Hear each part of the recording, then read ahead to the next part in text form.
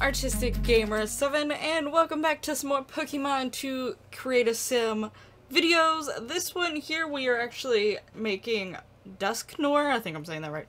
Um, I feel like this is one of the more confident ones that I'm saying right, into a sim. And if you're not familiar with Dusknoir, he is Gen 4, and he comes from Dusk... Dusclops? Or Dust... No, Dusclops is the middle one. Duskull is the first one. I'm confusing myself in my brain. but yeah, anyway, he is the final evolution of Duskull, which actually is in a gen before him. I want to say it's the very previous gen, gen before him, but again, gen 3 through 6, I'm a little iffy on.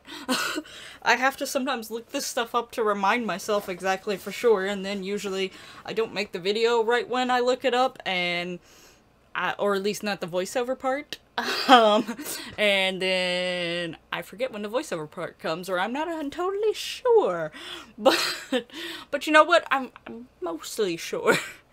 But anyway, yeah, so I turned him into a sim, and he is basically the Grim Reaper of Pokemon.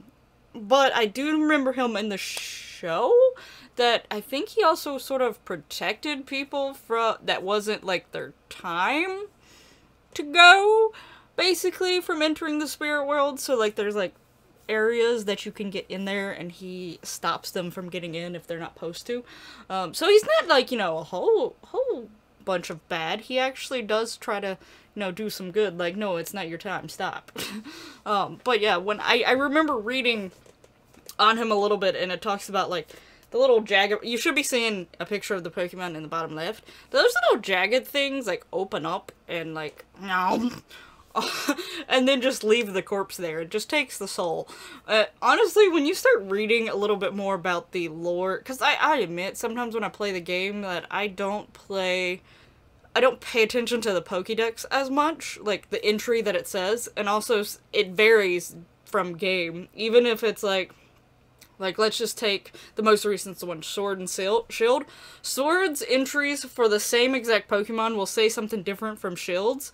And then, like, like you take Sun and Moon, and then there was Ultra Sun and Moon. All four of those had different entries for the same Pokemon.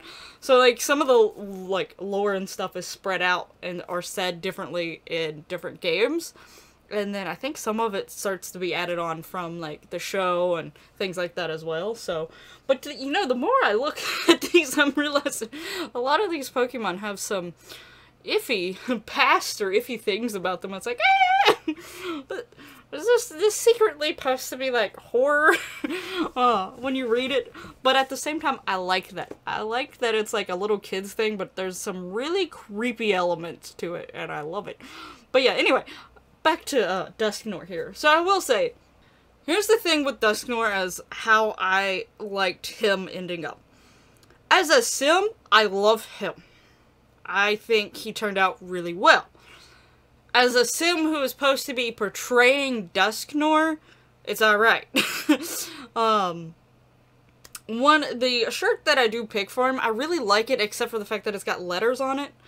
But the fact that it was like this blackish gray sweater that had these yellowish gold lines on it, I immediately was like, this has to be it. One, I was having a really hard time finding gold and black together. And then once I would find it, having it be a style or something that I would imagine it being, or looking like, yeah, didn't really fit. But with, I think the sweater, because the fact that his hands look like they come out of something slightly separate, I think the sweater does fit. I just wish those letters was not on it.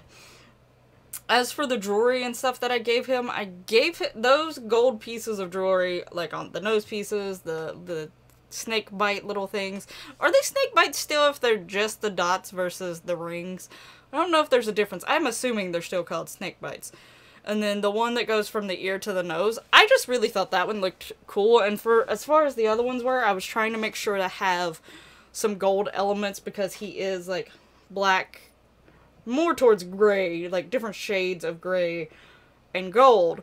So I was trying to bring that gold in because even early on into this, I knew finding something that was the gray, black, or gold, like gray or black anyway, with gold was not going to be easy especially since I didn't actually want to go too dark with the black because technically, except for like the pieces closest to his hands, and even those aren't really black, but they're they're close enough that I would have been maybe went with it. Early on, I definitely knew that I was going to have a hard time finding clothing to try to portray that, so I was trying to get that gold in in other ways. As for the eye patch, the eye patch is solely because Dusk Dusknoir only has, in fact, this whole entire evolution line only has one eye. So, you know, I decided to cover up, you know, Sims, you can't force them to be a Cyclops or anything like that. So I covered up his other eye, so he only has one working eye to make it try to make sense. And with the pants, I was just basically trying to find pants that had a grayish, a darker gray tone that met with that shirt, because where the shirt bunches up there, I didn't want his stomach showing. One, I, I thought it looked weird. Two, I'm going with the illusion that, you know, the whole opening of the tummy thing. Don't need to see that yet because but yeah, so that is my whole thing. Like I was I went through pant I did look at some shorts and uh, there was more shorts that were meeting to this spot on the pants than actual pants, I think at least almost every short that I chose met up there. So the fact that, but the thing was, is I really just didn't want to give him shorts. I wanted to give him pants because with Dusknoir, he's got the little, technically he's got a, like a little wisp tail thing. So I wanted to try to make the gray go all the way down from the shirt all the way down to the feet. So yeah, I definitely, I was trying to keep that going and not have any skin showing.